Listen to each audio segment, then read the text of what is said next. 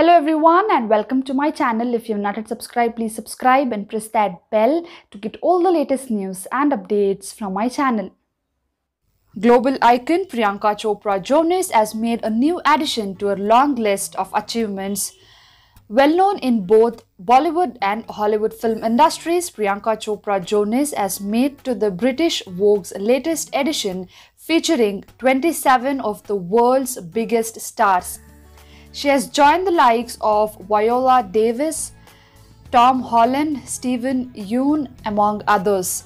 The actor took to her social media to reveal her exclusive pictures for the magazine. She is seen in a black high waist shorts, a sheer black gown with a fur sleeves and a high neck collar. She is seen balancing a black football on her finger. The look is completed with minimalist black high heels. The 27 artists were asked a set of questions about their influences, younger selves, and dream.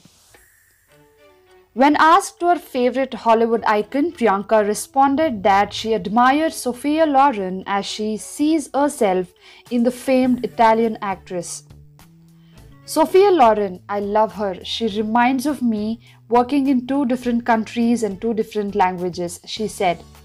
The global icon also spilled beans about her dreams as a professional before she came into show business.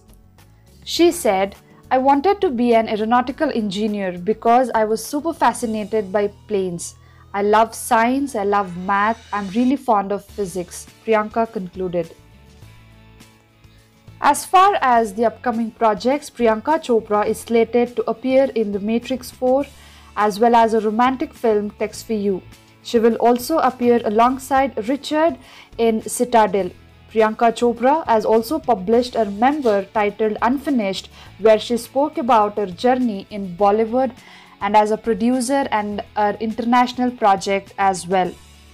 Currently, Priyanka Chopra Jonas is in London shooting for her upcoming series Citadel. What are your thoughts on Priyanka Chopra's look for British Vogue? Let me know your thoughts in the comment section below.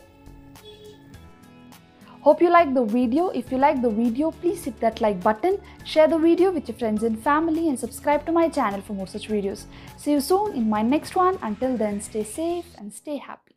Bye guys.